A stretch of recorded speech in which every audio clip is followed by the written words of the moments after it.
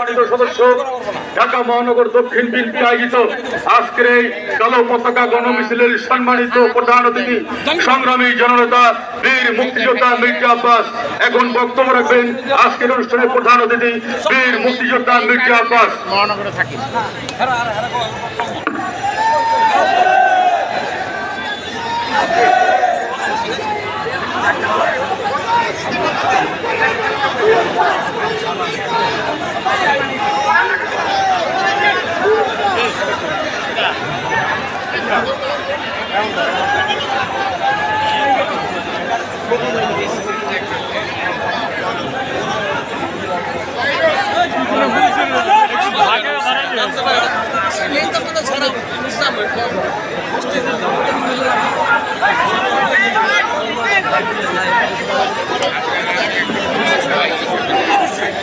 বিসমিল্লাহির রহমানির রহিম।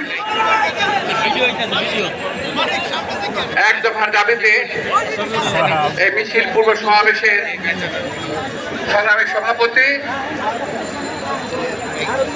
ঢাকা মহানগরী দক্ষিণে বিপ্লবী আহ্বায়ক বীর মুক্তিযোদ্ধা আব্দুল সালাম, স্থায়ী কমিটির অন্যতম সদস্য বাবু সুচন্দ্র রায়, আমার মঞ্চ বিশ্ব আমার সহকর্মী ভাইয়েরা, সামনে উপবিষ্ট আমার সৈনিক ভাই বোনেরা, আসসালামু আলাইকুম।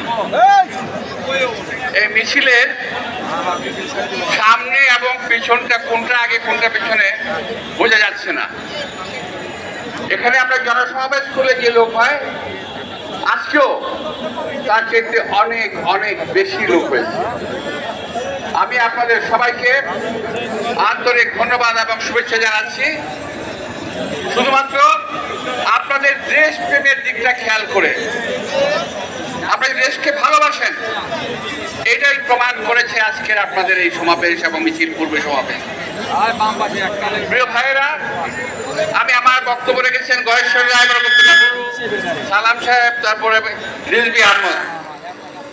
আমার ভাই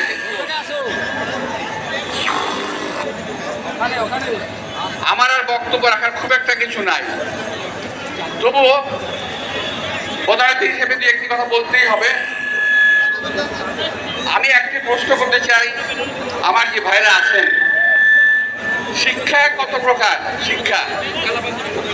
কত প্রকার কি কি? ভুলে গেছেন না, মনে করে দিই? আমি মনে করে দিই।